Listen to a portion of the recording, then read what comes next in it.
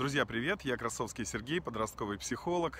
И сегодня я хотел бы разразиться некоторыми рекомендациями относительно понимания самой сути школьного процесса. Первая школа – это система. Объясните, пожалуйста, вашему ребенку. Отсюда следует два важных вывода.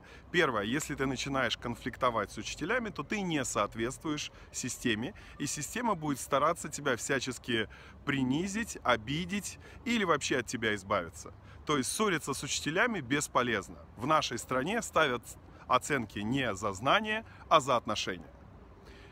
И следующий момент. Точно так же управлять своими эмоциями или ссориться с учениками, а, выражать громогласно свое недовольство, это также бесполезно, это не работает, потому что система, она безэмоциональна. Если ученик умеет управлять своими эмоциями, система продолжает его поддерживать и двигать вверх так как он соответствует.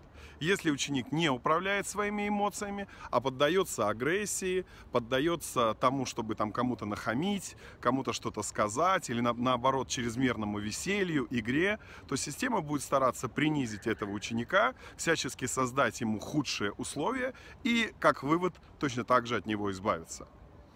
Я, честно говоря, не уверен, насколько поймут это дети в возрасте от 9 лет и старше, но я уверен, что эту простую вещь должны понять ученики в возрасте от 14 лет и старше.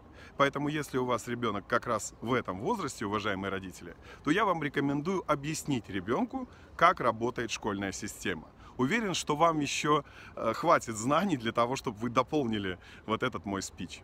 Спасибо огромное за внимание. Всем желаю счастья, здоровья в новом учебном году. Пока.